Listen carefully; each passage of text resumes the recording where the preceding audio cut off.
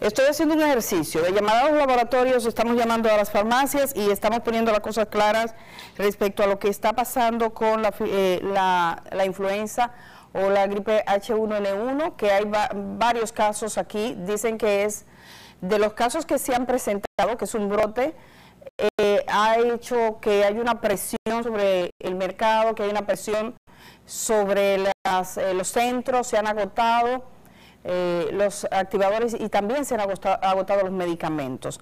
Así que voy a comenzar por uno, y, lo voy a hacer así, lo vamos a hacer a la franca. Cuando yo estaba en la radio, era muy común hacer este ejercicio porque en la radio se presta más. Llamar al teléfono de una institución y ustedes ven lo que pasa, sin ocultar absolutamente nada. En este caso, llamé al laboratorio Samadita, eh, le pedí a una joven que, que me marcara, llamé y ven ustedes lo que sucede con la llamada. Conociendo cuál es la sucursal. Buenos días, gracias por llamar a Madita, Laboratorio Clínico y de la Asiste. ¿Qué le puedo ayudar? Sí, buenos días. Eh, por favor, quisiera eh, verificar para una prueba de influenza. ¿Con quién tengo el placer? Rosimari. Gracias, señora Rosimari. Mm, en, por el momento no estamos realizando la prueba de influenza, no la tenemos disponible. Wow. ¿Y cuándo podría y por qué? No, no tenemos ese activo. No, ah, ya. ¿Y cuándo podría estar disponible? No, no tenemos ese dato hasta el momento. Muchísimas gracias, qué pena. Usted puede mantener llamando para verificar, pero no tenemos fecha. Ok, muchas gracias. ¿Algo más que yo le pueda asistir? No, no, está bien, gracias, muy amable.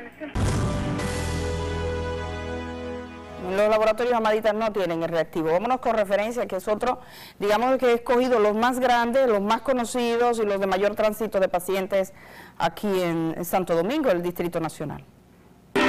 Gracias por llamar a Referencia Laboratorio Clínico. la orden, si le necesitan que le ayude. Sí, buenos días, por favor. Eh, ¿Laboratorio de referencia? Sí, señora. Yo quiero, por favor, para una prueba de influenza. No tenemos el kit disponible por el momento. Wow, ¿y cuándo lo tendrían? No tenemos información, señora. Wow, wow. ¿Y eso por qué, joven? Porque se agotó, tiene mucha demanda y se agotó. ¿Desde cuándo estamos así? Disculpe. ¿Desde cuándo? ¿Desde cuándo? Porque tengo una amiga que se lo hizo allá. Desde hoy en la mañana se agotó. Se agotó. Porque hay muchas personas que lo están realizando, entonces por la magnitud de personas se agotó. Bueno, pues nada, gracias, joven. A la orden siempre. Ok. Tengo varios más. La misma situación.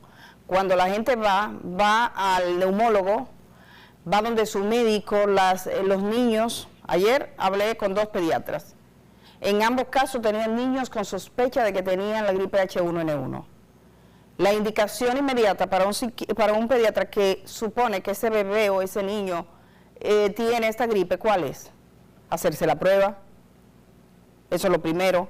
Y después el medicamento. Una vez te tomas el medicamento, el Tamiflu conocido, la gente mejora no tiene por qué ser una cosa grave.